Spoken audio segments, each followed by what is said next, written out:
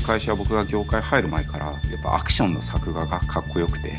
独特にプシャッとかって音とかあーおしゃれでパワフルみたいな感じですかね。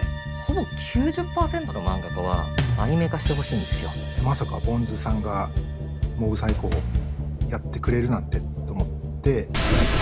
制作一同がすごくこうアニメーション作るっていうことに対してプライドを持ってて。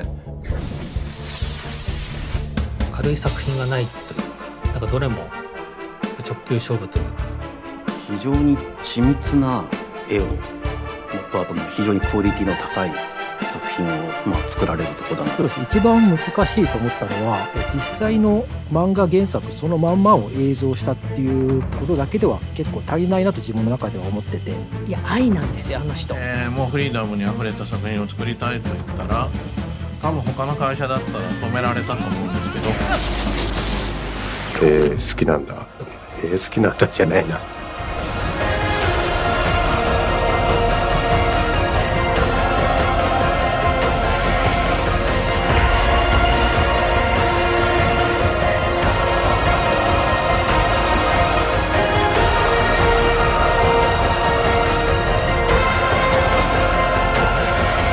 行くぞ。